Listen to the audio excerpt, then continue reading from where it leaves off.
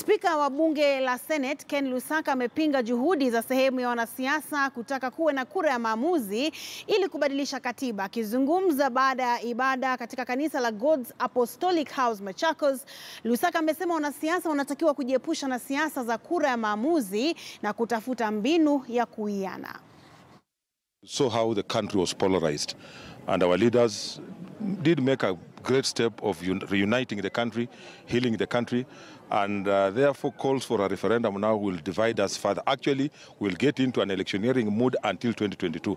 We'll not even achieve these things that we're talking about, agenda, agenda, the, the four agenda that has been said by the president. So we are saying, yes, if the constitution must be looked at, okay, it's, it's a living document, but this is the wrong timing. The timing is wrong. We need to focus now on development.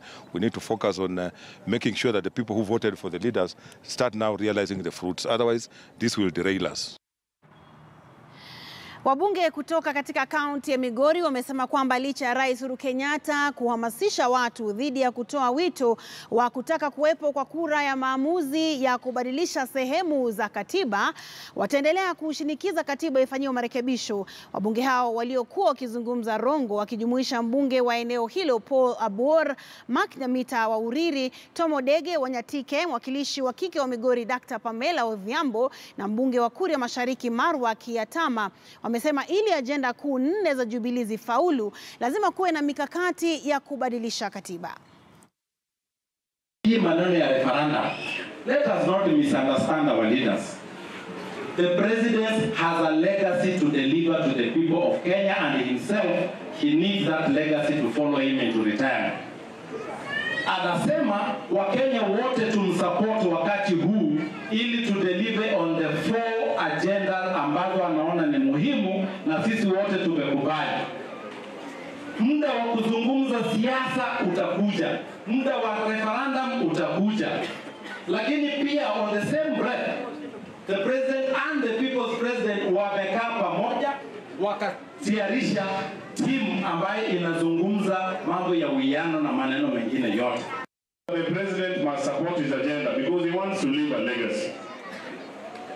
But we also know that beyond that legacy that the president wants to leave, we must have a country that is going to guard that legacy.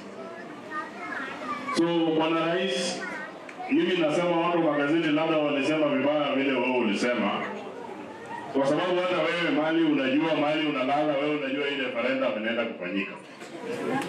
I think both our presidents, Uhuru Kenyatta and Raila Amolo Odinga, they acknowledge that there are some issues with our country that need to be resolved once and forever.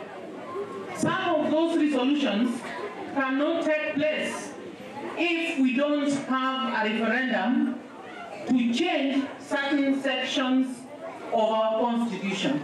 The issue of referendum is not about individuals. This is a demand coming from the people of Kenya.